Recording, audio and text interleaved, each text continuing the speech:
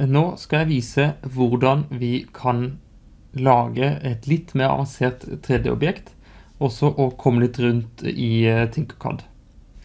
Da har jeg laget et bord og litt tekst, og jeg ønsker nå å lage et nytt prosjekt.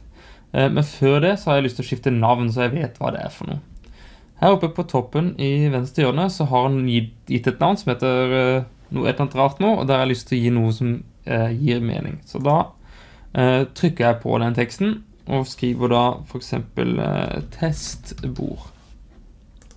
Og så trykker jeg et annet sted, og så blir det gitt et nytt navn. Ønsker jeg å lage et nytt design, så trykker jeg på Tinkercad-logoen oppe i venstre hjørne. Da kommer jeg tilbake til oversikten over mine tidligere design, eh, og jeg ønsker nå å lage et nytt design. Oppgaven min nå er å produsere en spillbrikke som skal brukes i f.eks. monopol. Så den passer på at den ikke er for stor eller for liten, så den faktisk kan brukes. Jeg har en idé om å lage en snømann, eh, så det er oppgaven min. Eh, hvis du er da en eh, student ved Høgskolen i Østfold, så må du ikke lage nøyaktig det samme som meg, men jeg skal iallfall vise deg funksjonene. En snømann består jo av en kule i bunnen, så jeg drar ut en kule og da ser jeg at trykker jeg på det hvite hjørnet i bunnen her, så er den 20 ganger 20 mm, som er ja, ganske bra størrelse, men jeg ønsker å være litt større, så da tar jeg 25 ganger 25 og trykker på toppen, så kan jeg velge høyden 25. Da er den kula blitt litt større. Da skal jeg lage eh, midten av kroppen på snømannen min, så jeg drar ut enda en kule.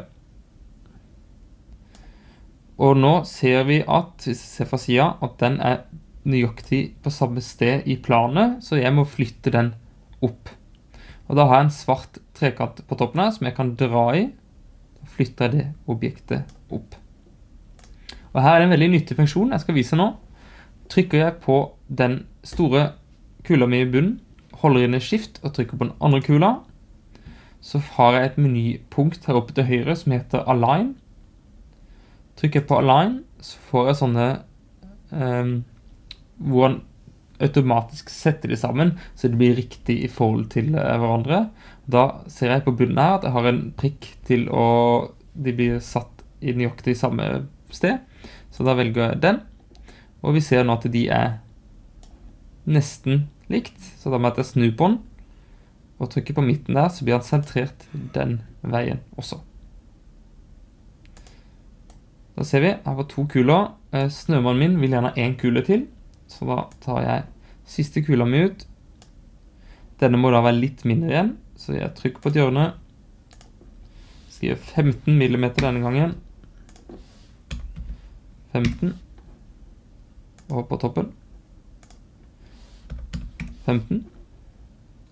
Ta tak i den svarte på toppen her, den svarte trekanten. den er cirka den høyden jeg ønsker. Når jeg har tatt den så høyt som jeg vil ha den, så må jeg først gruppere disse to andre, eh, resten av snømannen, før jeg kan sette sammen. Så da trykker jeg på den nederste kulen, holder inn skift, velger den andre kulen, og trykker group, så blir det til ett objekt. Markerer jeg nå den siste kula på toppen, hodet, holder en skift og trykker på den store, og trykker align, så kan jeg få de til å sette sammen. Så da bare sjekker jeg at den er riktig plassert begge veier. Da har vi snømannen min. Så nå har jeg hele kroppen, og ønsker nå å groupe Sette hele sammen i en gruppe, så det blir ett objekt. Da har vi ett objekt. Nå har jo ikke den noe personlighet, denne snømannen. Jeg ønsker å legge til øyer og en nese. Så da tar jeg først ut en uh, nese. Da bruker jeg den som heter paraboloid. Den ser jeg alt for stor allerede, så da tar jeg den til å bli to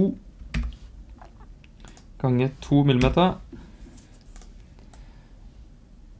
Og den er jo veldig lang, så da gjør den litt kortere også.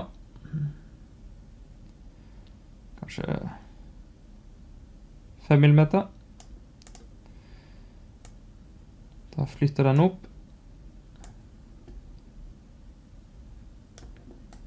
Her kan det bli litt uh, knoting for å få det til å matche helt, men det går helt fint. Jeg ser også at nesa er jo i feil retning. Den peker oppover. Jeg vil den skal peke utover.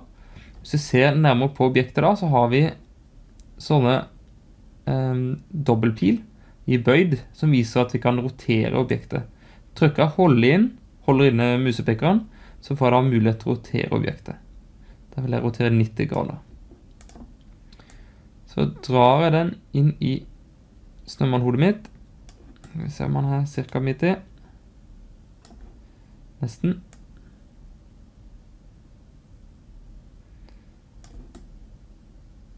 Det ser ganske bra ut. Kanskje jeg tar litt ned. Der. Da ser jeg at snømannen har fått en eh, nese. Da skal jeg legge til et par øyer. Så jeg drar ut en liten kule. Eller drar ut en kule og gjør den bitte, bitte liten. Så da kanskje 1, 1 mm ganger 1 mm ganger 1 mm. Ikke spesielt stor. Passen 1 mm alle veier. Da går det an å zoome inn, så du ser hvor liten den er. Den her vil jeg skal hule ut øyer i snømannen min, så jeg må gjøre om den til en hole. Da kan jeg velge opp i høyre meny at det skal være et hole. Eh, så må jeg flytte den. Skal vi se, det var ikke så lett å få tak på den. Der var den. Skal vi se. Enda høyere opp.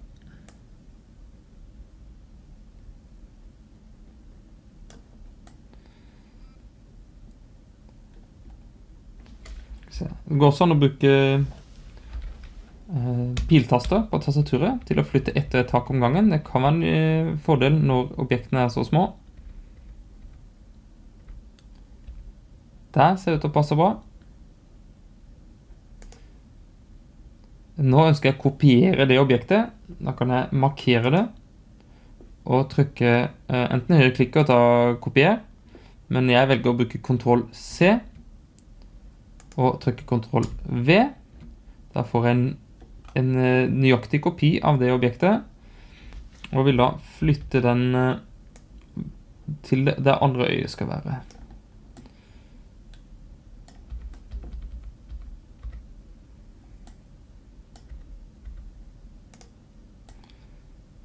Cirka sånn. Kanskje litt Der har vi den. Eh, nå ønsker jeg at de skal hule ut der snømannen, så jeg markerer snømannen min, holder inn og skift, markerer begge øynene og trykker group. Der får jeg to hull i snømannen min. Jeg har også lyst til å få meg nesa, så jeg trykker på snømannen, skift velger nesa og trykker group. Da får jeg en enkel snømannfigur. Dette er jo en enkel innføring på hvordan man eh, kan lage ganske avanserte figurer hvis man ønsker. Nå ønsker jeg å printe ut denne snømannen, så i neste video så skal jeg vise hvordan man gjør den klar til 3D-printing.